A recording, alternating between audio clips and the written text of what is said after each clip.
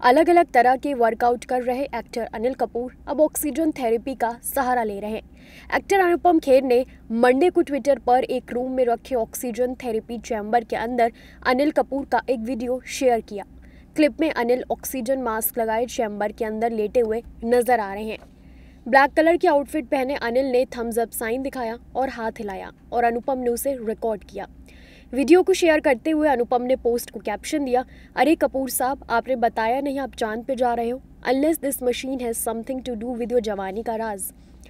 अनुपम खेर की video share करने के बाद लोगों ने कमेंट करने शुरू कर दिए। एक यूज़र ने लिखा this is O two therapy तो वहीं एक और यूज़र ने कमेंट करते हुए लिखा, चाँद पर नहीं, ये टेक्नोलॉजी से अपनी उम्र कम कर रहे हैं। तो वहीं एक और यूज़र ने लिखा, झकास this definitely seems to be that secret for his jawani.